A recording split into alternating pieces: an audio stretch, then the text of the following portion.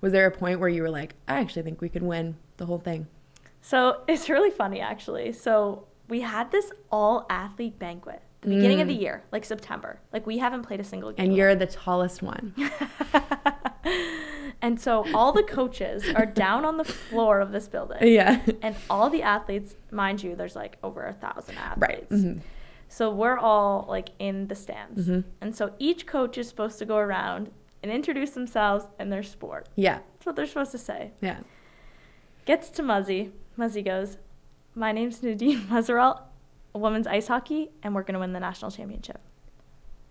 We haven't played a single game yet this point, Stop. Oh, this was before the season before started. the season started. Shut up. September. That is so. and we are all up there like, we have to do it. Oh like we have to. Not that we didn't want to before, but now we really have Now to. Now you have she to. just told the whole school that we're going to. Oh my god. And so, like a lot of people's friends on other teams, and at this point, like I didn't really know any other athletes, but yeah. a lot of girls on my team were getting texts being like, "Did your coach just say that?" What did people do? Did they cheer for that, or were they like, Like, okay? Like, what was the crowd team- reaction? The crowd was like, each team was like cheering for their own coach. So it was like Right. you would see where like volleyball was, you'd see where Mhm, basketball was, mhm. you'd see like kind of like see where the teams were sitting, yeah. and we were like cheering, but we were all like, everyone is staring at us. Oh, like no. everyone was like baffled. They were like, Really? Oh no. So it was like a reaction of like, did she really just say that? yeah, Oh no. and everyone was kind of so like, then you really have to win because then everybody was like the nerd. I'm sure people were like, oh, okay, go off, queen. Yeah, and they're like, okay, you say that kind of thing, but she was so confident. Like she knew. I love that. She knew. Did you believe it when you said it? I believed it when I committed there. Like she, Yeah. like just the way, and you saw like the transfer she was getting. Like we had like Mhm. eight or nine transfers last year. Yeah. So like that's crazy in itself. The Totally. fact that she went out and handpicked people off the transfer portal. Yeah. And was able to get them to come there. Mm-hmm. Like, and they're all like really good players. Yeah. And so, you know, she has a way to talk to people and like get them to come there and stuff. And like you just knew. And like when you stepped on the ice for that first practice, you just knew that like it was going to be good. And again, I truly believed from the first day that we were going to win the national championship. And if we weren't going to win, we were going to be right there. But Mm. I truly thought like that was the year, like to break the, I guess, break into it for Ohio Yeah. State because they Yeah. had never won before. Right. It's kind of beautiful as well, turning a negative to a positive. Because if you think about it, you were like maybe the missing piece. Or, you know, the people like you mentioned, other people that had transferred, like losing out on your university and what you thought. Obviously, that's horrible. And then it's like you go to this new school, you fit in perfectly. You're like handpicked by this amazing coach because she knows that your team like needs you. Yeah. And then you guys win the frickin' national championship. It was so cool. And like, think about a genius though. How Oh. do you add like 10 or 11 new players? Because, like, with freshmen, like, Mm. to a team Because you don't know. You don't know how they'll plan and out. win. hmm I don't know. Like, I couldn't how, do it. how do you do that? That's almost half your team. yeah. Couldn't be me. And win. Amazing. Nadine Muzerall. so um who was your who was your toughest matchup in the tournament? Was it Minnesota Duluth? Were they the the ones you were most worried to go through? I would say, like, any conference team is hard. Right. We play against them so much during the year. There's bad blood. Mhm. Like, people are out to get each other. Totally. and so I would say any conference matchup. So like your Wisconsin, your Mm, Duluth, your mhm. Minnesota Gophers. So Yeah. like any of those, I think I would have been more nervous to play than anyone else. Right. Quinnipiac took us to double overtime, Right. in like the round of 8 Mhm. But again, I feel like we were less nervous that Mhm. game than playing against Duluth in the finals, and Yeah. not because it was just the finals, but because I think it was Duluth. Yeah. And so they're a conference opponent. We've played them like four times already Mhm. that year. And the fact that, you know, I think we had split with them both times. Yeah. So like you're kind of going in being like, you know, we're number 1, but like they've beaten us Yeah. as much as we've beaten them. Yeah.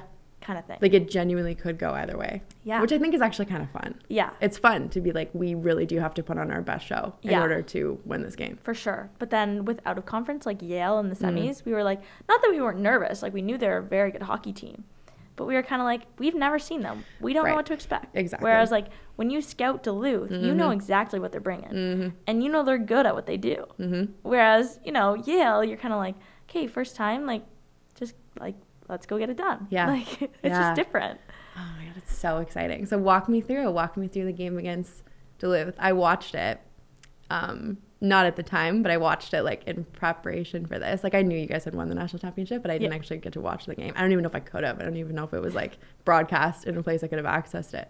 Um, but you guys, you came out strong, and you did not take your foot off the gas the entire time, and it was really cool to watch Yeah. because uh, I could tell you were a team that had been coached to be confident. Yes. Yeah. And I think like one thing is is like we're led by a woman. Like Yeah. we're led by a woman in power. Mm. And I'm not saying male coaches can't do that, but I'm just saying like she would always talk about like how she has a daughter named Bella Mm. and like how we are Bella's idols and like how she wants us to be strong women like that create a voice and like have a voice in this world and like do big things Yeah. like coach a team to a national championship Yeah. when she had also won one as a player Yeah. so i think that With sh- who was who was she with when she won? As a uh, minnesota gophers oh, yeah so not Duluth. That's good. no but like she had always instilled in us to like be confident like we're women like we're like we're badass totally. and so i think that um she just like knew how to like how to get the best out of us Mm. and so going into that game we were confident like we Mhm. were a little nervous but we were confident Mhm.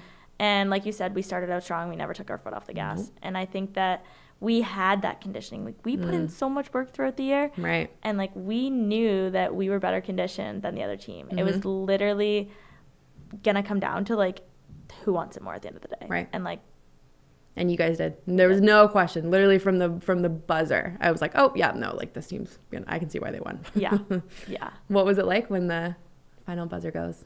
You're national champion. What's going It through was your head? it was so cool. It was like super bittersweet. My last game ever of college. Like Yeah. you know. So for me, going into the CHA finals the year before, Mhm. for the people in my graduating class that weren't gonna take their fifth year, you know, you don't know that that's your last college game. Yeah. Like you, it could be.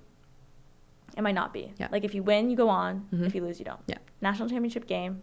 I'm like That's it. my last game ever. I couldn't possibly play another game. Yeah. Like it wasn't like Yeah. a, if we win, great. Mm-hmm. If we lose, we don't. Mm-hmm. It was like a this is my last game. so definitely like obviously emotions going into it. Like I was sad, happy, but like excited. I was like ready to be done, but like, then not. Like it was Mm. kind of like, you know, so different. So I think that um, it was. I was like knew that it was gonna be my last game. I knew kind of what to expect, but you're never ready for it. Yeah. You know what I mean? But then when that final buzzer went off and we won, it was like the best feeling in the world. Like I can't even describe to you like our bench, like everything Mm. going into those last few seconds, minutes, like nerves, but like confidence. Like and I think that's so important, like the confidence. And I think No doubt. that's as women what we lack a lot of time. That's right. So I Amen. think being led by a woman, like she Mm. instilled that confidence in us and like um, just throwing your gloves in the air Mhm. and celebrating with your team, like winning for the first time for Ohio State. Oh. And I mean, the NCAA is a tough league to win. Let's be real. Like, how many people can say that they're an NCAA champion, national champion? Exactly. Insane. So, is part of you like, hmm, it's kind of worked out in my favor? Like, looking back, are you kind of like, wow, thanks, Robert Morris. Now, Yeah. now I'm, now I was the captain with you guys and like, scored all these points, blah, blah, blah. Thank you so much. And I'm a national champion. Like, is part of you feeling like that? Yeah, for sure. I think that you know everything happens for a reason, and that was how that needed to work out. As much Oh. as it's so hard to see that, like when that that day our program got cut, like I don't see it as that. Even Mhm. the day that I signed with Ohio State, I was like still sad my program got cut. I'm so excited for the future, but like I'm still sad about that. Totally. And like you never really see things through until they happen i Mhm. think a lot of the time so i think that it was meant to happen Yeah. and i'm so glad it did like realistically at robert morris we weren't winning the national championship we didn't have the depth we didn't have the team Right. maybe another cha championship but like maybe a trip to the Mhm. ncaa tournament but beyond that like we weren't winning the national championship Right. so i think for me like having that opportunity to go out of college hockey as a national champion is so cool Frick, That's so cool. That is the like the craziest. This is why I was so excited for this interview. I was like, this is the craziest story of like, oh my god, to like, oh my god, this is great. Yeah. Like, what a freaking 180 turnaround blessing in disguise. You really were like a missing piece of this puzzle yeah that ended up working out like so beautifully in your favor.